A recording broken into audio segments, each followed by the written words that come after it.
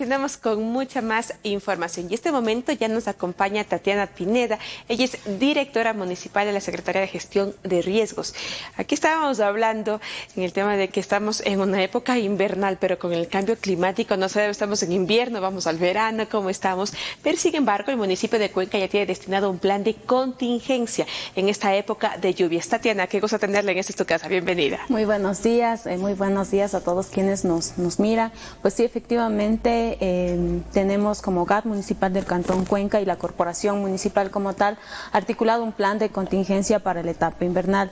Eh, cada año vamos eh, trabajando en temas tanto preventivos y también en temas de respuesta. En ese sentido, en el tema, en el tema puntual de respuesta, contamos eh, con un plan de contingencia que cuenta con un personal logístico de alrededor de 200 personas que en el caso de suscitarse un evento, pues estas se activarían, al igual que en temas de herramientas, equipos y demás, un total de 287 eh, herramientas como tal. Este plan de contingencia, ¿qué es lo que nos permite a nosotros? Poder articular y coordinar con todas las instituciones, tanto de la eh, municipalidad y en muchos casos nos ha pasado también que con el gobierno central poder eh, articular ciertas acciones en beneficio o en son o, prevención de la ciudadanía. Entonces, este plan, eh, de hecho, ya lo pusimos en marcha en los eh, problemas que tuvimos en Marianza, lamentablemente, en otros problemas que tuvimos en Turi, y bueno, en fin, en algunos puntos de la ciudad que hemos tenido inconvenientes, y pues vemos que nos ha dado bastante resultado en la respuesta inmediata a las personas que han sufrido este tipo de eventos eh, causados por las lluvias. Tatiana, por lo general, bueno, hablábamos que ya no es época de lluvias, no es época de sol, no sabemos en sí eh, cómo está el, clima, ¿no? Entiendo que es por el cambio climático también que estamos sufriendo estos, estos cambios bruscos de clima, pero las lluvias continuarán en la ciudad de Cuenca. Así es, efectivamente, justamente el día de hoy nos hicieron llegar el, reporte del INAMI eh, hasta el 12 de este mes y pues nos dicen que en el callejón interandino vamos a continuar con lluvias esporádicas en diferentes momentos y es lo que ya nos ha pasado en anteriores semanas, sol en la mañana, lluvia en la tarde y noche.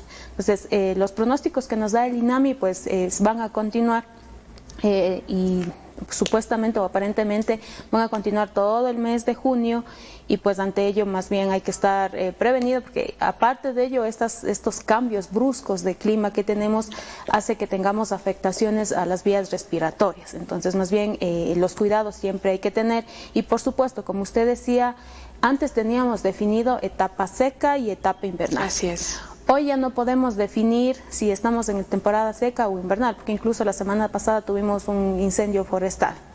Entonces, y luego de dos días tuvimos lluvias. Entonces, eh, nosotros a la par estamos trabajando ya en el tema preventivo de incendios forestales también, pero sin dejar de lado los planes de contingencia por eventos que son eh, hidrometeorológicos. Tatiana, hay en Cuenca, sin duda, hay varios sitios que son catalogados ya como de riesgo, por ejemplo, la Jaime Roldós, cuando son constantes lluvias hay problemas allá, Marianza que se activó ahora, eh, eh, Turi también. ¿Qué otros puntos son catalogados como conflictivos en épocas de lluvia y que ustedes están atentos para trabajar? Eh, bueno, eh, hay varios puntos dentro de la ciudad, como usted ya los había mencionado, está la Jaime Roldós, que es un deslizamiento activo y que continúa y que en épocas de lluvia se puede acelerar más.